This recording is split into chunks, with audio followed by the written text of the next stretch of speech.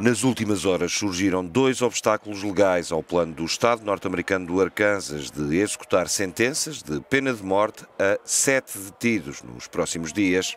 Um juiz emitiu uma providência cautelar a proibir a administração de uma das três drogas utilizadas nas injeções letais e o Supremo Tribunal do Arkansas concedeu uma suspensão da execução da pena a um dos detidos.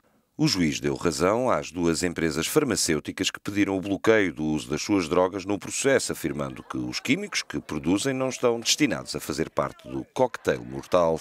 Os sete homens eram para ser executados por injeção letal no espaço de 11 dias, já a partir de segunda-feira. O ator Johnny Depp foi uma das dezenas de pessoas que se juntaram em frente à sede do governo estatal em Little Rock para protestar contra as execuções.